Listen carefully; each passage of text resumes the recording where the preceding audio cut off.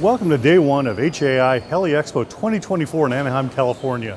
Over two days this past weekend, the city of Anaheim saw some 40 helicopters land near the Anaheim Convention Center, our location for this year's show. To reduce the show's carbon footprint, HAI is providing 100% sustainable aviation fuel, or SAF, for aircraft flying into the show. Because SAF is made from organic materials, its use can reduce greenhouse gas emissions by up to 80%, making it a green choice for owners, operators, and pilots. Another emphasis at HAI Heli Expo is improving safety in our industry, which was the focus of several of today's events. This year's HAI Safety Symposium featured a pilot's harrowing story of survival after his helicopter lost its tail boom during an air tour of the Big Island of Hawaii.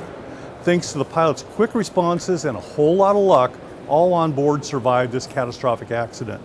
Speakers from the U.S. National Transportation Safety Board, including board member Michael Graham, described their investigation and the resulting recommendations to both the FAA and Transport Canada. You can read more about this pilot's incredible first-person account in the March issue of Rotor magazine. Now, I've saved the biggest news for last. At the welcome reception that kicks off the show each year, we made an important announcement. Vertical Aviation International is the new identity of Helicopter Association International. Nicole Battjes, chair of the board of directors, made the announcement on behalf of her fellow board members and the association staff. VAI will fuel the growth of the vertical aviation industry by providing connection, advocacy, safety, education, and support for its members' success. If you design, build, fix, fly, operate, supply, or support vertical aviation aircraft, then you belong in VAI. For more information about VAI, please visit the web address on your screen.